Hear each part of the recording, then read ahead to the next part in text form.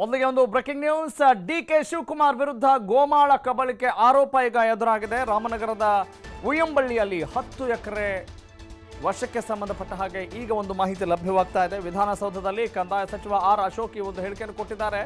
ಕಪಾಲಿ ಬೆಟ್ಟ ಅಭಿವೃದ್ಧಿಗೆ ಅಂತ ಡಿ ಕೆ ಶಿವಕುಮಾರ್ ಕೇಳಿ ಪಡೆದಿದ್ದಾರೆ. ಆದರೆ ಸರ್ಕಾರಿ ಜಮೀನು ದಾನ ನೀಡೋಕೆ ಬರೋದಿಲ್ಲ. ಕಪಾಲಿ ಬೆಟ್ಟ ಹೆಸರು ಬದಲು ಮಾಡಲು ಬಿಡಲ್ಲ. ಡಿಸಿಯಿಂದ ವರದಿ ಬಂದ ಬಳಿಕ ಕ್ರಮ ಜರುಗಿಸ್ತೀವಿ ಅನ್ನೋದು ವಿಧಾನಸೌಧದಲ್ಲಿ ಕಂದಾಯ ಸಚಿವ ಆರ್ ಅಶೋಕ್ ಹೇಳಿಕೆ. ಇದು ಡಿ ಕೆ ಶಿವಕುಮಾರ್ ಅವರ ವಿರುದ್ಧ ಗೋಮಾಳಕ ಬಳಿಕೆ ಆರೋಪ ಕೇಳಿ ಬರ್ತಾ ಇದೆ. ರಾಮನಗರದ ಉಯ್ಯಂಬಳ್ಳಿಯಲ್ಲಿ ಹತ್ತು ಎಕರೆ ವಶಪಡಿಸಿಕೊಂಡಿದ್ದಾರೆ ಅನ್ನೋದು ಈಗ ಇವರ ಮೇಲಿರುವಂತಹ ಆರೋಪ. ವಿಧಾನಸೌಧದಲ್ಲಿ ಕಂದಾಯ ಸಚಿವ ಆರ್ ಅಶೋಕ್ ಈ ಒಂದು ಹೇಳಿಕೆಯನ್ನು ಕೊಡೋದರ ಮುಖೇನ ಮತ್ತೆ ಡಿ ಕೆ ಶಿವಕುಮಾರ್ ಅವರಿಗೆ ಒಂದು ಎಚ್ಚರಿಕೆ ಕೊಡೋ ಪ್ರಯತ್ನವನ್ನು ಮಾಡಿದ್ದಾರೆ. ಆದರೆ ಡಿ ಕೆ ಶಿವಕುಮಾರ್ ಈಗ ಇದಕ್ಕೆ ಸ್ಪಷ್ಟನೆ ಕೂಡ ಕೊಟ್ಟಿದ್ದಾರೆ. ಅದು ಸರ್ಕಾರಿ ಅಲ್ಲ, ಸ್ವಂತ ಜಮೀನು ಅನ್ನುವ ಮಾತುಗಳನ್ನು ಆಡಿದ್ದಾರೆ ಡಿ ಕೆ ಶಿವಕುಮಾರ್. ಕಪಾಲಿ ಬೆಟ್ಟ ಹೆಸರು ಬದಲು ಮಾಡೋಕೆ ನಾವು ಬಿಡಲ್ಲ. ಡಿ ಸಿಯಿಂದ ವರದಿ ಬಂದ ಬಳಿಕ ಕ್ರಮ ಕೈಗೊಳ್ತೀವಿ ಅನ್ನೋದು ಕಂದಾಯ ಸಚಿವ ಆರ್ ಅಶೋಕ್ ಅವರ ಮಾತು.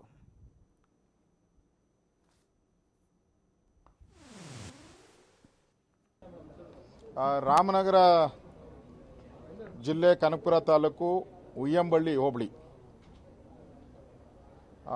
ಸರ್ವೆ ನಂಬರಲ್ಲಿ ಒಟ್ಟು ಇನ್ನೂರ ಎಂಬತ್ಮೂರು ಎಕರೆ ಜಮೀನು.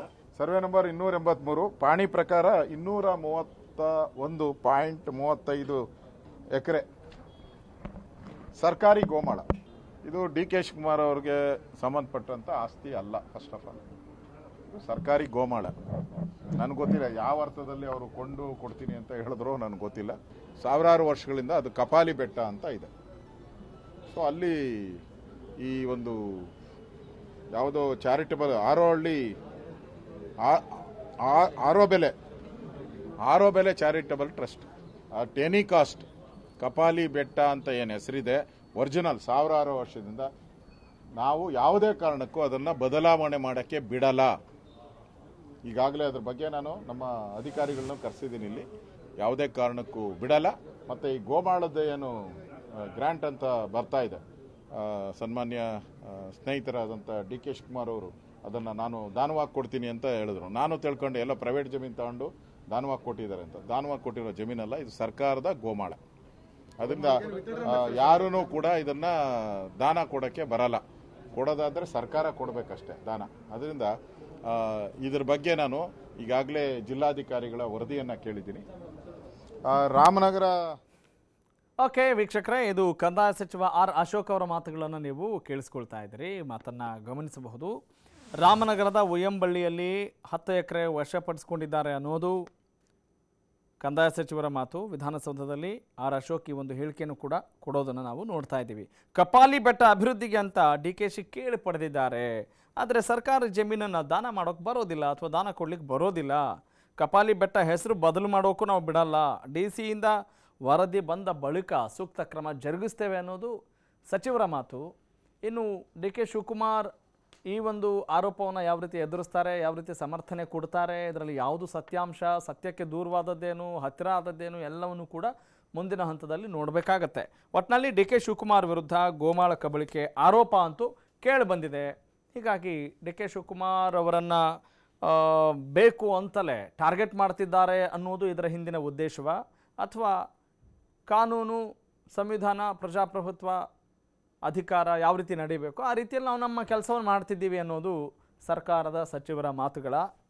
ಒಟ್ಟಿನಲ್ಲಿ ರಾಜಕೀಯ ಅಂತ ಹೇಳಿದರೆ ದ್ವೇಷ, ರಾಜಕೀಯ ದ್ವೇಷ ಒಟ್ಟಿನಲ್ಲಿ ತಂತ್ರ, ಕುತಂತ್ರ ಎಲ್ಲವನ್ನೂ ಕೂಡ ನಾವು ನೋಡ್ತಾ ಇರ್ತೀವಿ. ಆದರೆ ಈಗ ಈ ಒಂದು ಆರೋಪ ಎಷ್ಟರ ಮಟ್ಟಿಗೆ ಸದ್ದು ಮಾಡುತ್ತೆ? ಡಿ ಕೆ ಶಿವಕುಮಾರ್ ಅವರು ಎಷ್ಟು ಕೂಲಾಗಿ ಇದನ್ನೆಲ್ಲ ಎದುರಿಸ್ತಾರೆ ಅನ್ನೋದನ್ನು ಕೂಡ ನಾವು ಮುಂದಿನ ಹಂತದಲ್ಲಿ ಗಮನಿಸಬೇಕಾದಂಥ ಅಂಶ.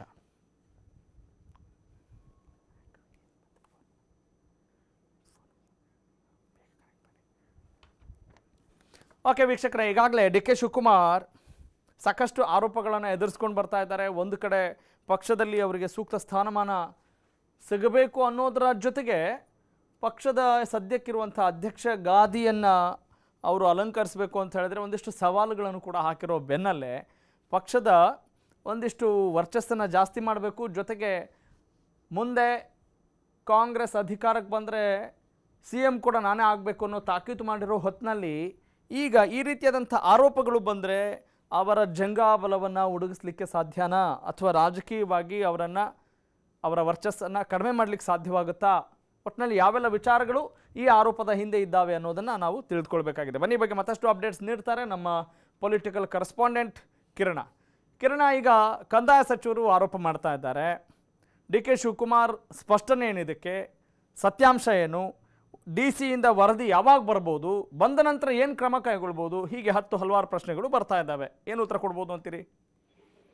ಪ್ರಮುಖವಾಗಿ ರಾಘವ ಸೂರ್ಯ, ಈಗಾಗಲೇ ಏನು ಗೋಮಾಳದ ಜಮೀನಿನಲ್ಲಿ, ಅಂದ್ರೆ ಸರ್ಕಾರಿ ಜಮೀನಿನಲ್ಲಿ ಅವರು ಯೇಸು ಕ್ರಿಸ್ತನ ಒಂದು ಪ್ರತಿಮೆಯನ್ನ ಸ್ಥಾಪನೆ ಮಾಡಿದ್ದಾರೆ ಅನ್ನುವಂತ ಒಂದು ಆರೋಪವನ್ನ ಈಗಾಗಲೇ ಬಿಜೆಪಿ ನಾಯಕರು ಮಾಡಿದ್ದಾರೆ. ಜೊತೆಗೆ ಈಗ ಆ ದೇ, ಆ ಬೆಟ್ಟ ಏನಿದೆ, ಅದು ದೇವ ಏನು, ಹಿಂದೂ ದೇವರ ಒಂದು ಹೆಸರಿನಲ್ಲಿ ಸ್ಥಾಪನೆ ಮಾಡಬಹುದಾಗಿತ್ತು. ಅವ್ರು ಯಾಕೆ ಈ ರೀತಿಯಾಗಿ ಮಾತಾಡಿದ್ರು ಅನ್ನುವಂತ ಒಂದು ಹೇಳಿಕೆಯನ್ನ ಒಂದಷ್ಟು ಬಿಜೆಪಿ ನಾಯಕರು ಕೊಟ್ರೆ ಮತ್ತೊಂದಷ್ಟು ಅಂದ್ರೆ ಅದು ಸರ್ಕಾರಿ ಭೂ- ಭೂಮಿಯಲ್ಲಿ ಒಂದು ಏನು ತಮ್ಮ ರಾಜಕೀಯ ಬೆಳೆಯನ್ನ ಬೆಳೆಸ್ಕೊಳ್ಳಿಕ್ಕೆ ಡಿ ಕೆ ಶಿವಕುಮಾರ್ ಅವರು ಮುಂದಾಗಿದ್ದಾರೆ ಅನ್ನುವಂತಹ ಒಂದು ಆರೋಪವನ್ನ ಸ್ವತಃ ಕಂದಾಯ ಸಚಿವರಾದಂತಹ ಆರ್ ಅಶೋಕ್ ಅವರು ಮಾಡಿದ್ದಾರೆ. ಜೊತೆಗೆ ಈಗಾಗ್ಲೇ ಏನು, ಆ ಒಂದು ಏನು ಆ ಭೂಮಿಯ ಜೊತೆಗೆ ಅವರು ಈಗಾಗಲೇ ಪ್ರತಿಮೆ ಸ್ಥಾಪನೆಗೆ ಮಂಜೂರು ಮಾಡಿರುವಂತಹ ಒಂದು ಭೂಮಿಯ ಒಂದು ವಿವರವನ್ನ ಜೊತೆಗೆ ಎಲ್ಲ ಮಾಹಿತಿಯನ್ನ ಕಲೆ ಹಾಕುವ ಒಂದು ಬಿಜೆಪಿ ನಾಯಕರು ಕೆಲಸ ಮಾಡ್ತಿದ್ದಾರೆ ಅಂತ ಹೇಳಿದ್ರೆ ತಪ್ಪಾಗೋದಿಲ್ಲ. ಈ ಒಂದು ವರದಿಯನ್ನ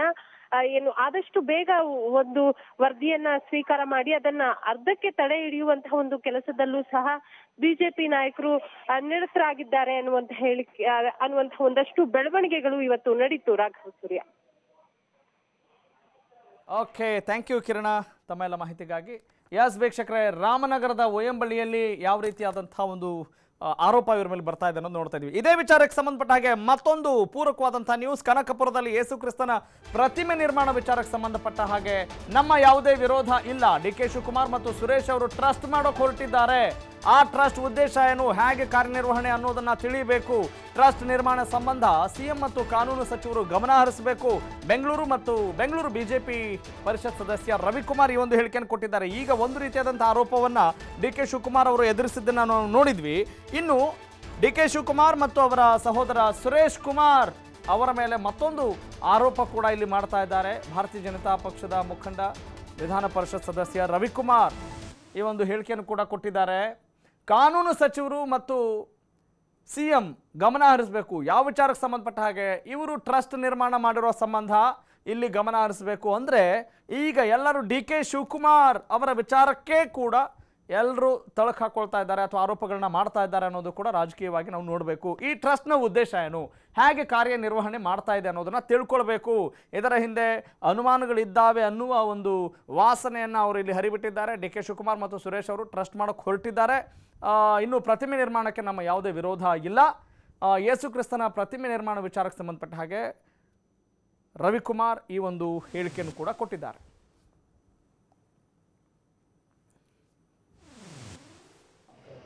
ರೈತರ ದನಕರುಗಳಿಗೆ ಉಪಯೋಗ ಆಗಬೇಕು ಮತ್ತು ಮೇವು ಬೆಳೆಯೋದಕ್ಕೆ ಉಪಯೋಗ ಆಗಬೇಕು, ದನಕರುಗಳ ಮೇವಿಗೆ ಉಪಯೋಗ ಆಗಬೇಕು ಅಂತ ಹೇಳಿ ಗೋಮಾಳವನ್ನು ಬಿಡೋದನ್ನು ನಾವು ನೋಡಿದ್ದೇವೆ, ಕೇಳಿದ್ದೇವೆ. ಆದರೆ ತಕ್ಷಣಕ್ಕೆ ಡಿ ಕೆ ಶಿವಕುಮಾರ್ ಅವರು ಇಡೀ ಪ್ರಪಂಚದಲ್ಲಿನೇ ಒಂದು ದೊಡ್ಡ ಯೇಸುಕ್ರಿಸ್ತನ ಯೇಸು ಕ್ರಿಸ್ತನ ಸ್ಟ್ಯಾಚ್ಯೂವನ್ನು ನಿರ್ಮಾಣ ಮಾಡಬೇಕು. ಆ ಮೂಲಕವಾಗಿ ಸೋನಿಯಾ ಗಾಂಧಿಯವರ ಕೃಪಾ ಕಟಾಕ್ಷಕ್ಕೆ ನಾನು ಒಳಗಾಗಬೇಕು. ಆ ಮೂಲಕ ನನಗೆ ಕಾಂಗ್ರೆಸ್ ಪಾರ್ಟಿನಲ್ಲಿ ರಾಜ್ಯಾಧ್ಯಕ್ಷರ ಪದ ಸಿಗಬೇಕು. ಈ ಎಲ್ಲ ಹಿನ್ನೆಲೆಯಲ್ಲಿ ಏನು ಡಿ ಕೆ ಶಿವಕುಮಾರ್ ಅವರು, ಸುರೇಶ್ ಅವರು ಒಂದು ತಂತ್ರವನ್ನು, ಕಾರ್ಯವನ್ನು ಮಾಡ್ತಾ ಇದ್ದಾರೆ. ಆ ಕುರಿತಂತೆ ಕೂಡಲೇ ಸರ್ಕಾರ ಇದರ ಬಗ್ಗೆ ಗಮನವನ್ನು ವಹಿಸಬೇಕು. ಅವರ ಟ್ರಸ್ಟ್ನ ಉದ್ದೇಶಗಳೇನಿದೆ ನೋಡಬೇಕು ಮತ್ತು ಗೋಮಾಳವನ್ನು ಈ ರೀತಿಯ ಕಾರ್ಯಕ್ಕೆ ಕೊಡಬಹುದಾ ಅನ್ನೋದ್ರ ಬಗ್ಗೆ ಸರ್ಕಾರ ನಿರ್ಣಯ ತೆಗೆದುಕೊಳ್ಬೇಕು. ರೈತರ ದನಕರುಗಳಿಗೆ ಉಪಯೋಗ ಆಗಬೇಕು ಮತ್ತು ಮೇವು ಬೆಳೆಯೋದಕ್ಕೆ ಉಪಯೋಗ ಆಗಬೇಕು ದನಕರುಗಳ ಮೇವಿಗೆ ಉಪಯೋಗ ಆಗಬೇಕು ಅಂತ ಹೇಳಿ ಗೋಮಾಳವನ್ನು ಬಿಡೋದನ್ನು ನಾವು ನೋಡಿದ್ದೇವೆ, ಕೇಳಿದ್ದೇವೆ. ಆದರೆ ತಕ್ಷಣಕ್ಕೆ ಡಿ ಕೆ ಶಿವಕುಮಾರ್ ಅವರು ಇಡೀ ಪ್ರಪಂಚದಲ್ಲಿನೇ ಒಂದು ದೊಡ್ಡ ಆ, ಯೇಸು ಕ್ರಿಸ್ತನ ಸ್ಟ್ಯಾಚ್ಯೂವನ್ನು ನಿರ್ಮಾಣ ಮಾಡಬೇಕು ಆ ಮೂಲಕವಾಗಿ ಸೋನಿಯಾ ಗಾಂಧಿಯವರ ಕೃಪಾ ಕಟಾಕ್ಷಕ್ಕೆ ನಾನು ಒಳಗಾಗಬೇಕು. ಆ ಮೂಲಕ ನನಗೆ ಕಾಂಗ್ರೆಸ್ ಪಾರ್ಟಿನಲ್ಲಿ ರಾಜ್ಯಾಧ್ಯಕ್ಷರ ಪದ ಸಿಗಬೇಕು. ಈ ಎಲ್ಲ ಹಿನ್ನೆಲೆಯಲ್ಲಿ ಏನು ಡಿ ಕೆ ಶಿವಕುಮಾರ್ ಅವರು ಸುರೇಶ್ ಅವರು ಒಂದು ತಂತ್ರವನ್ನು ಕಾರ್ಯವನ್ನು ಮಾಡ್ತಾ ಇದ್ದಾರೆ. ಆ ಕುರಿತಂತೆ ಕೂಡಲೇ ಸರ್ಕಾರ ಇದರ ಬಗ್ಗೆ ಗಮನವನ್ನು ವಹಿಸಬೇಕು. ಅವರ ಟ್ರಸ್ಟ್ನ ಉದ್ದೇಶಗಳೇನಿದೆ ನೋಡಬೇಕು ಮತ್ತು ಗೋಮಾಳವನ್ನು ಈ ರೀತಿಯ ಕಾರ್ಯಕ್ಕೆ ಕೊಡಬಹುದಾ ಅನ್ನೋದ್ರ ಬಗ್ಗೆ ಸರ್ಕಾರ ನಿರ್ಣಯ ತೆಗೆದುಕೊಳ್ಬೇಕು